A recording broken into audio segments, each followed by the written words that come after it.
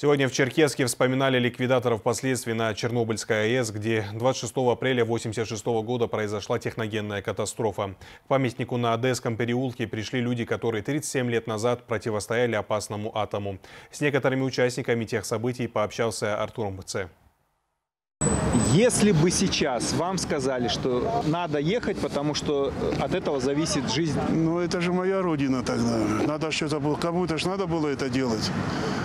Вот я и поехал. Участник ликвидации последствий аварии на Чернобыльской атомной электростанции Александр Стародубцев вспоминает первые дни, когда оказался в радиоактивной зоне.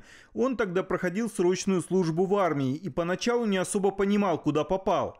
Но, говорит, все равно отправился бы туда, даже зная о последствиях для здоровья. Федор Гончаров имел куда больше представления о том, чем опасно разрушение реактора четвертого энергоблока. Там я находился 50 дней тоже. Вот. Ну, ужасающая картина была. Вот. Радиация зашкаливала, так как я знакомый с химико-разведчик. Самое меньше это находили выбросы с, с этого, с третьего блока. Это полтора рентгена до 10-12 рентген было. Вот. Ежегодно 26 апреля в Черкеске около памятника ликвидаторам последствий техногенной катастрофы собираются люди, которые в 86-м всеми доступными способами пытались не допустить дальнейшего увеличения радиоактивной зоны.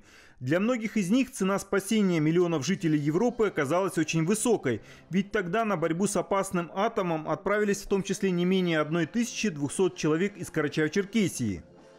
К сожалению, очень многих больше нет с нами. Светлая память им. В Чернобыле не свистели пули, не, не рвались снаряды, как в годы Великой Отечественной войны, как в Афганистане и в других горячих точках. Там был другой враг, невидимый, радиация.